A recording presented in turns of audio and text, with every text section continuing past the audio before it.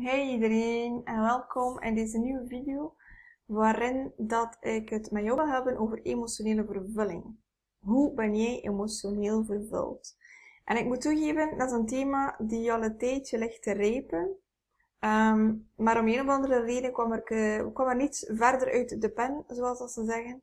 En nu de energieën deze week uh, en de komende periode vooral gericht worden op de, het emotionele niveau van ons mens zijn, is mij eigenlijk wel duidelijk geworden wat de reden van de vertraging is. Um, en zoals altijd, vertraging bestaat niet. Alles gebeurt op het moment dat het moet gebeuren. Zelfs al lijkt het op een vertraging. Nu, emotionele vervulling. Wat is het antwoord um, op de vraag? Wat is jouw bron van emotionele vervulling? Ja, ik weet het. Geen simpele vraag. En zeker als je nog nooit uh, de tijd hebt genomen om daarbij stil te staan. Um, laat het maar anders formuleren. Wat maakt jou blij en gelukkig? Misschien is dat een iets simpelere vraag. Um, en misschien gaat het ook over dingen die je dan doet, die eigenlijk op hun beurt ook weer andere mensen dient of andere mensen blij maakt. Maar dat hoeft erom niet. Als ik kijk naar mezelf, dan is hetgene wat mij emotioneel vervult eigenlijk in de loop der jaren meermaals veranderd. Eigenlijk een stukje afhankelijk van de lessen die ik op dat moment aan het leren was, vond ik mijn emotionele vervulling ook op een andere manier. En als ik kijk naar nu, dan kan ik eigenlijk van dag tot dag ook nog wat gaan veranderen. Dus zal ik bijvoorbeeld de ene dag meer, meer energie halen uit het lezen van een boek, terwijl dat je de andere dag bijvoorbeeld liever in de tuin gaat gaan werken. Of Misschien zelfs naar televisie en naar een film kijken, bijvoorbeeld. De ene keer wil je meer gaan reflecteren en alleen zijn. En de andere keer wil je jezelf omringen met familie en vrienden. Hoe dan ook, ongeacht wat er jouw uh, emotionele vervulling brengt, zelfzorg is belangrijk. Dus belangrijk om heel, altijd in eerste instantie voor jezelf te zorgen. Want pas wanneer dat jij een gelukkig mens bent, vervuld van je leven, kan je anderen ook geven wat dat zij nodig hebben. En um, daarom laat emotionele vervulling jou eigenlijk ook een stukje kijken en vooral bewust worden van je emoties. Want het is belangrijk dat jij jou goed voelt in je vel. Nu, jarenlang ging ik van de ene bezigheid naar de andere op zoek naar iets. Geen idee wat ik eigenlijk op zoek was. Uh, maar uiteindelijk, als je het nadien bekijkt, dan ben je eigenlijk, of was ik eigenlijk op zoek naar iets dat mij vervulling bracht. Of blijvend vervulling zou brengen. Iets waarvan hij zegt, ik heb dat gedaan en nadien van, ah, oh, dat deed me echt goed om dat te doen. Of wat ben ik blij dat ik dat gedaan heb.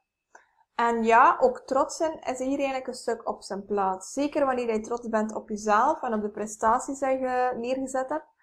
Uh, het is niet op zijn plaats als je trots bent omdat het gaat om erkenning en goedkeuring van je omgeving. Dan zit je eigenlijk in een ander hoofdstuk. Maar wanneer dat je hoe klein ook heel bewust je successen viert, dan kan je natuurlijk ook die emotionele vervulling gaan ervaren. En ervaren is het, het het belangrijkste doel van uh, waarom dat we hier allemaal geboren zijn en waarom dat we hier allemaal rondlopen op aarde. Een diep, warm gevoel van binnen. Ter hoogte van je hart of kan ook ergens anders.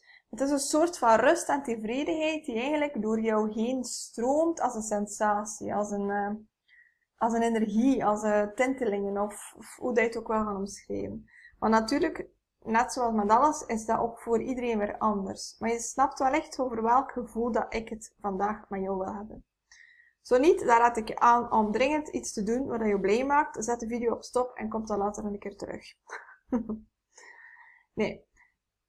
Waarom over emotionele vervulling? Wel, omdat de, deze periode waarin dat we nu ingaan, worden we eigenlijk collectief bewust, uh, niet bewust, maar ook, bewust, maar, worden we eigenlijk gepusht om onze schaduwen en alles wat ons ervan weerhoudt oprecht gelukkig te zijn om dat uit te zuiveren. Ja, wat een werk. Hè?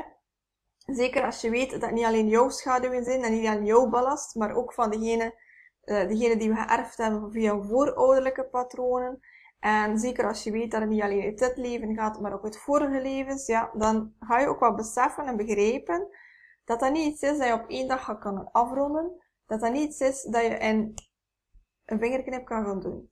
Dat vraagt tijd, maar het vraagt vooral aandacht en tegelijkertijd vraagt het ook rust. Want spirituele groei en zuiveren gaan hand in hand. Doorheen de afgelopen jaren, waarin dat ik meer en meer op mezelf geworden ben, heb ik meermaals periodes gehad waarin dat ik eigenlijk door die donkere nacht van de ziel ging. En ik ben me er heel van bewust dat op dit moment heel veel mensen zijn die voor de eerste keer doorheen die periode gaan. Um, en de eerste keer dat ik dat meemaakte, of eigenlijk nadien vooral, uh, want in het begin weet je niet wat er aan de hand is, maar dacht ik dat dat één keer was. Een keer dat je het gehad hebt, zoals met de kinderziekte, een keer dat je het gehad hebt en je uh, immuniteit aangemaakt en ga je er niet meer doorheen. Ja, jammer genoeg moet ik jou een stuk teleurstellen, want eigenlijk telkens wanneer je een cyclus afsluit en eigenlijk een nieuw hoofdstuk aan je leven aanvangt, komt die donkere nacht van de ziel eigenlijk weer een stuk naar boven.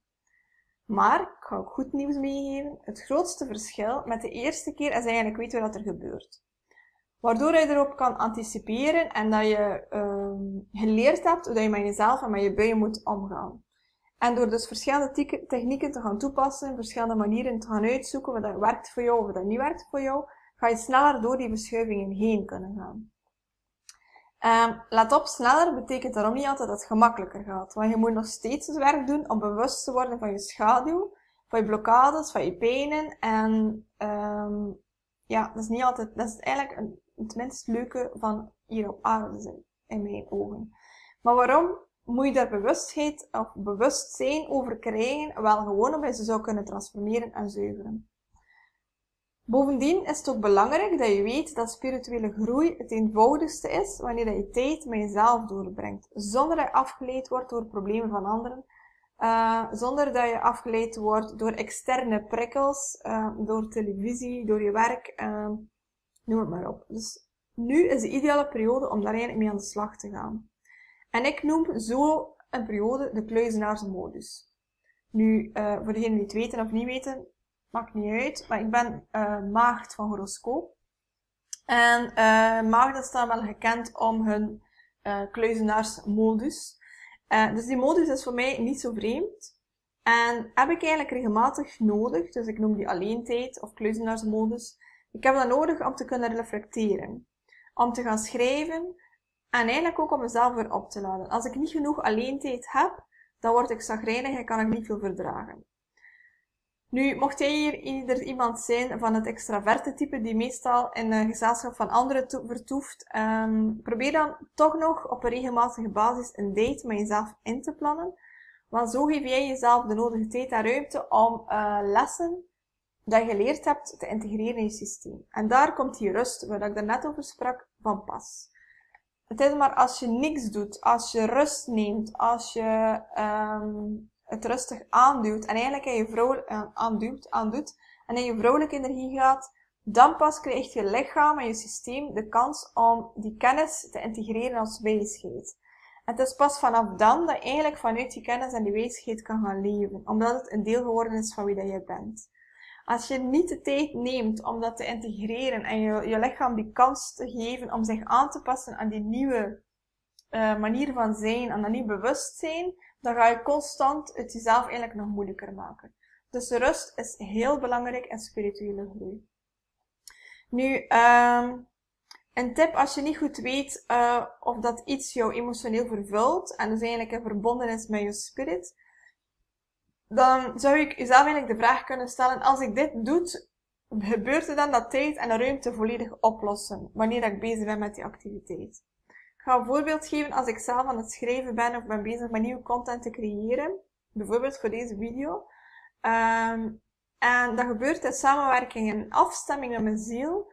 Dan vergeet ik waar ik zit of vergeet ik hoe laat dat het is. Um, soms gebeurt het zelfs eigenlijk regelmatig dat ik gewoon zelf niet voel als ik honger heb of als ik eigenlijk dringend beter naar het toilet zou gaan.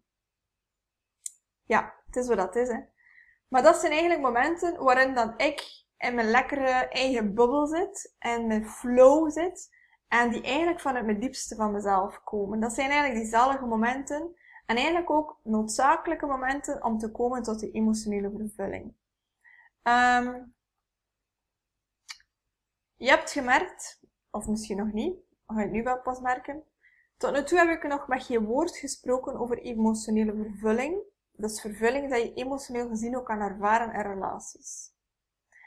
En de reden hiervoor is eigenlijk heel bewust. Uh, want namelijk nog te vaak zijn we afhankelijk van onze partner om ons gelukkig te voelen. En omdat bewustzijn op de aarde aan het verruimen is, bij de meeste mensen, dus bij, vooral bij de mensen die gekozen hebben om inderdaad mee te gaan in die evolutie, gaan of zijn de relaties ook aan het veranderen. En daar heb ik het niet alleen over de romantische relaties, maar ook over vriendschappelijke relaties. Nu, velen gaan ook tot de vaststelling komen dat de relatie dat ze tot nu toe hebben onderhouden, niet hetgeen is waar dat hun ziel naar verlangt. Ze zijn dus eigenlijk niet langer emotioneel vervuld in die relatie. En hoogstwaarschijnlijk, vooral als het dan over romantische relaties gaat, zal er ook op andere vlakken geen vervulling meer zijn. Nu, de grootste reden daarvoor is, is omdat eigenlijk de meeste relaties ontstaan zijn vanuit een fysieke aantrekkingskracht. En na verloop van tijd bouwden de partners dan uh, al dan niet een mentale en soms ook een emotionele band op. Nu, eenmaal dat de relatie zijn uh, nut heeft gehad, of zijn dienst heeft gehad, of de lessen geleerd zijn, dan verdwijnt die fysieke aantrekkingskracht. Waardoor natuurlijk die mentale en emotionele band, als die er al zou zijn, ook gaat gaan oplossen, gaat gaan verdwijnen. Nu meer en meer zijn, uh, gaan zielsconnecties eigenlijk de nieuwe maatstaf worden, eigenlijk de nieuwe relaties worden. Wat bedoel ik daarmee? Een spirituele, energetische connectie opbouwen met iemand is moeilijk, omdat het er ofwel al is, ofwel is het er niet. Je voelt je energetisch gezien aangetrokken tot iemand of niet. Dat is ook de reden waarom de mensen zullen resoneren met mij en anderen met iemand anders. Dat is allemaal oké. Nu, we zijn aan het toegroeien waarin de relaties gaan ontstaan vanuit zielsconnecties. Dus dat betekent dat connecties uiteindelijk ook emotioneel gezien veel meer vervulling zullen brengen dan de, de gekende huidige relaties. Alleen uh, betekent dit automatisch ook dat deze connecties niet kunnen aangehaald worden en beleefd worden of uh, ja, geregeld worden, of hoe moet ik het gaan zeggen, zoals dat we ze nu kennen. Nu, tweelingvlammen hebben eigenlijk de uh, nieuwe templates voor die connecties in hun blauwdruk. Die liggen eigenlijk als codes in een energieveld vervat. Ze zijn ermee geboren. Um, en naarmate tweelingvlammen ontwaken en wakkerder worden en aan zichzelf gaan werken en vervolgens in een missie gaan stappen, zullen zij ook tonen aan de mensen in de omgeving, aan de wereld, op welke manier relaties mogen beleefd worden. Namelijk vanuit onvoorwaardelijke liefde. Echter, om daartoe te komen, mogen vervormde uitingen van mannelijke en vrouwelijke energie geheeld worden. Denk maar aan afhankelijkheid van de partner. En dat kan zowel van vrouwelijkheid naar man zijn of omgekeerd, dat maakt niet uit. Verlatingsangst. Vertrouwensproblemen. Issues met zelfwaarde. Bindingsangst. Patronen van controle. Macht. Geen of slechte grenzen. Te veel geven of net te weinig geven. Um, dit alles vraagt om geheel te zijn, zodat je in eerste instantie heelheid en eenheid in jezelf creëert. Dat is het belangrijkste. Want pas vanuit die heelheid zal je in de nieuwe tijd uh, kunnen komen tot eenheid met je goddelijke partner.